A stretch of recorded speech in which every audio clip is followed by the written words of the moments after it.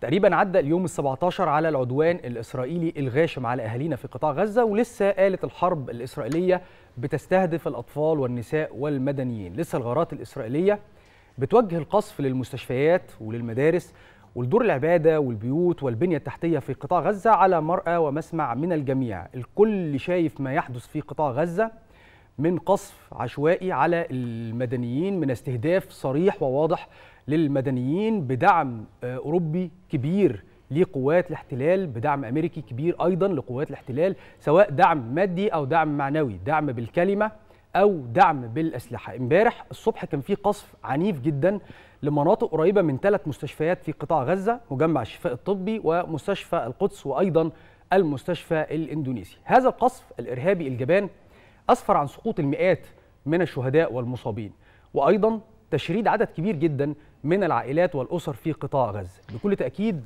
الموضوع كبير وفي جوانب متعددة لهذه المعاناة. لما نيجي نتكلم يا منى عن تشريد عدد كبير من الأسر والعائلات عدد كبير جدا منهم اللي فقد أهله واللي فقد أبنائه واللي فقد العائل الوحيد للأسرة. وجانب آخر من المعاناة تخيلوا إن في حد عايش دلوقتي بعد ما تم قصف بيته كل حاجته موجودة تحت البيت ده. يعني طبعا إحنا اتكلمنا عن إنه يفقد حد من أهله لكن تخيلوا حد قاعد بهدومه بوضعه زي ما هو بقاله 17 يوم.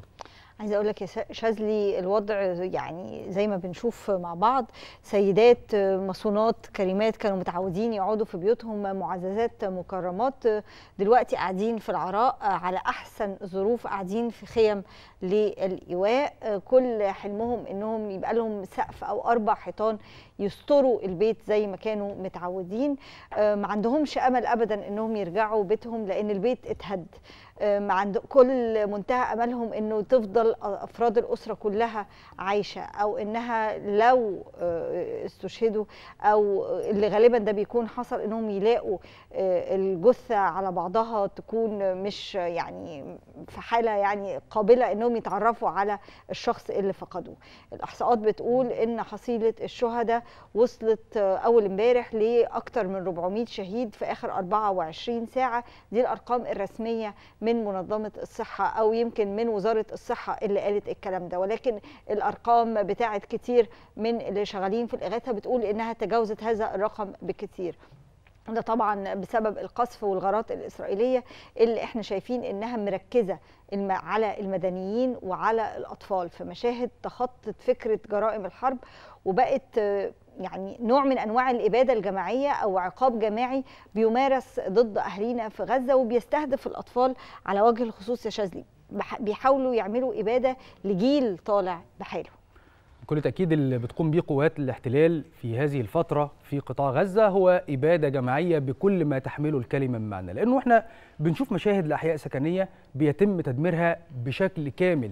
ده غير طبعا إن الوضع الإنساني أصبح في غاية الخطورة. بنسمع الأخبار وبنتابع عدد كبير من المستشفيات أصبح خارج الخدمة. ده بسبب إيه؟ بسبب الحصار القوي اللي موجود في هذا القطاع. أولا مفيش وقود مفيش كهرباء مفيش مياه مفيش غذاء. المستلزمات الطبية اللازمة لإجراء الجراحات للناس المصابين ما هياش موجودة. في بعض الأحيان بنسمع أنه في عمليات بتتعمل عمليات جراحية عاجلة بتتعمل لعدد كبير من المصابين. على الحي زي ما بنقول كده وهو صاحي وهو حاسس بكل حاجة. ليه؟ لأنه مفيش بنج هناك مفيش مخدر يقدر يستخدمه في العمليات زائد إنه كل مستلزمات الجراحة أصبحت خلاص بتنفد في عدد كبير من المستشفيات. ده بيتطلب إيه؟ بيتطلب تدخل عاجل من المجتمع الدولي لوقف هذا العدوان الغاشم على أهالينا في قطاع غزة. عشان كده نقدر نقول إن الدبلوماسية المصرية بتكثف جهودها بشكل كبير عشان تحتوي الأزمة دي وحشد المجتمع الدولي لرفض سياسة العقاب الجماعي والقتل والتدمير والحصار اللي مفروض على أهالينا في غزة من الاحتلال. كل الجهود دلوقتي بتمارس لفتح ممرات إنسانية آمنة ودائمة لدعم أبناء الشعب الفلسطيني اللي إحنا شايفينه قد إيه بيقدم ملحمة صمود عظيمة جدا للدفاع عن أرضه وقضيته ودولته الفلسطينية وقد إيه هو متمسك إنه ما يتحركش من مكانه.